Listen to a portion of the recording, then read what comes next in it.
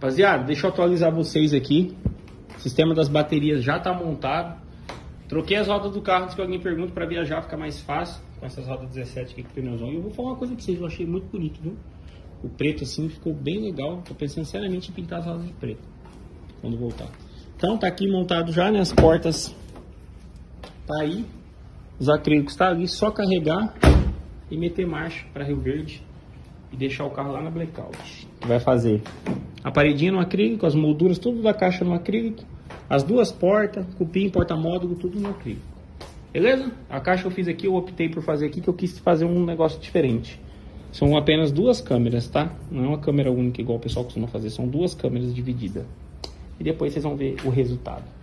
Tá aí a caixa, uma litragem bem legal, dando aí cada, é, cada câmera 428 litros. Ou 23, se eu não me engano, preciso somar lá. Né?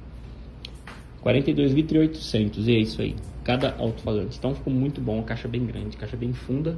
Então tá aí, atualizando vocês que em breve a estradinha vai estar lá na Blackout, no Douglas, em River de Goiás. Tamo junto.